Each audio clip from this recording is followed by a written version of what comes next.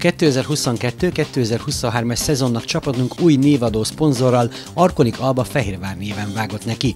Első bajnokinkat ugyan elveszítettük Pakson, az oroszlány ellen azonban szinte történelmi sikert arattunk, a 106-39-es eredmény nem túl gyakori vendég a pályákon. A mérkőzés kezdődobását Varga Zsuzsanna, az Arkonik Köfém Mill Products Hungary Kft. ügyvezetője és HR vezetője végezte el, a névadó támogatónk képviselője által útjára indított labda szerencsét is hozott csapatunknak a mérkőzésen. Szuper a hangulat, nagyon nagy az izgalom, és nagyon büszke vagyok, hogy az első dobást, a kezdődobást azt elvégezhettem. Nagyon nagy kosárrajongó lettem, különösen miután most már névadó szponzorok lettünk, úgyhogy amikor tehetem, akkor ellátogatunk.